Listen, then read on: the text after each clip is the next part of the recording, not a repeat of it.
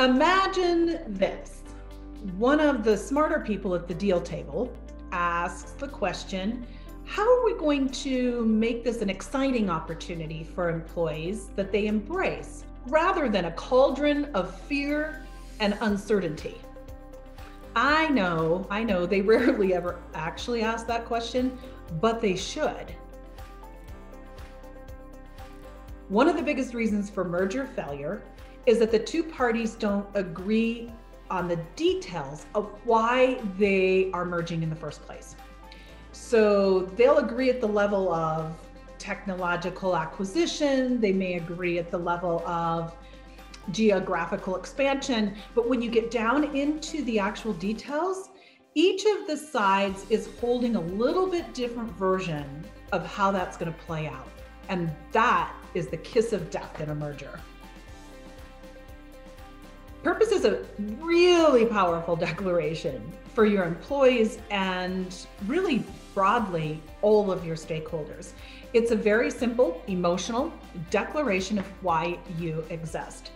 And it's so important in today's world because more and more the people who want to work for you want to work for a company that has something more meaningful that it's seeking than just making a ton of money.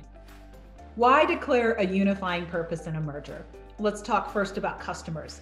64% of consumers say they want to do business with a company that has a bigger meaningful reason for being other than just making a lot of money.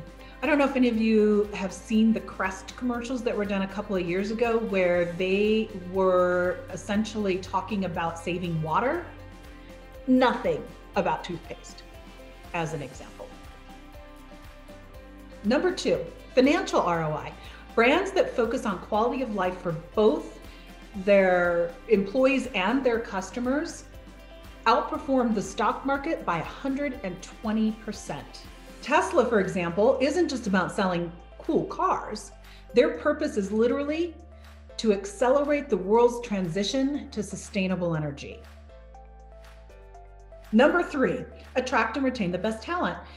More and more people, especially younger generations, are looking for the opportunity to do something that's meaningful at work. In fact, nine out of 10 employees say that they would trade the lifetime value of their earnings or paycheck in trade for being able to do work that's meaningful.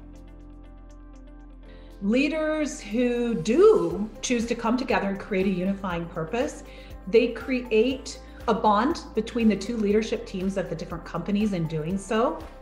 They help to set the merger off on the right foot from the beginning with something that is shared between them, a common bond that's shared between them. And that helps to offset that 30% first year attrition that we spoke about earlier. The three actions that you can take to support a strong unifying purpose.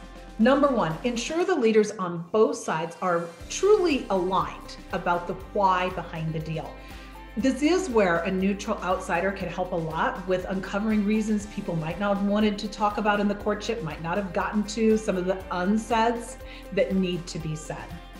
Number two, engage people on both sides to create the shared purpose. This gives everyone on both companies a chance to interact in a juicy kind of way rather than in some of this dry, hey, you gotta figure out how to get along and it helps them discover the positive opportunities and the benefits of working together.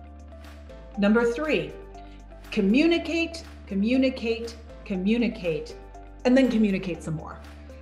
If you were doing a brand launch or a brand new product launch, you would not shortchange the communication process to get customers to buy your product. Your employees are your customers. So don't shortchange your communication during the merger, which is usually handled like some dry PR announcement. Make it make sense for them. I want you to keep those valued employees that you've worked so hard for.